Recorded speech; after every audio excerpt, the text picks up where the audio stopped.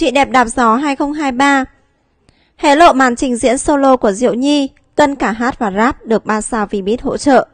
Diệu Nhi đã tập luyện thanh nhạc và vũ đạo chăm chỉ để chuẩn bị cho phần biểu diễn tại chương trình Chị đẹp đạp gió rẽ sóng.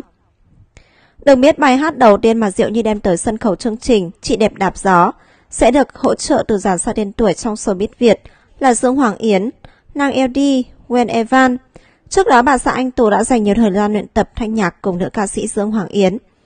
Diệu Nhi cũng tiết lộ Ren Eva sẽ hỗ trợ ở phần mở đầu. Trong phần trình diễn này, nữ diễn viên còn lần đầu thử sức với hát rap và phần lời được viết riêng bởi năng LD.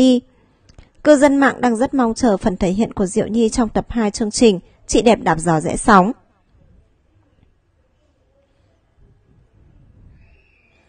Nói về lý do tham gia, chị đẹp đạp gió rẽ sóng, Diệu Nhi hài hước chia sẻ, tôi thích làm những cái khác so với mình bình thường.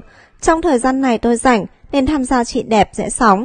Dựa giọng hát và trình diễn tôi tự tin cả hai, tôi không sợ gì cả vì tôi không có gì để mất hết. Bên cạnh việc luyện giọng, Diệu Nhi cũng tích cực tập luyện vũ đạo để tham gia chương trình. Nữ diễn viên từng chia sẻ, Nhi không giỏi về kỹ năng hát, nhảy hay trình diễn, nhưng Nhi tin chắc chắn rằng nếu được tập luyện sẽ làm được.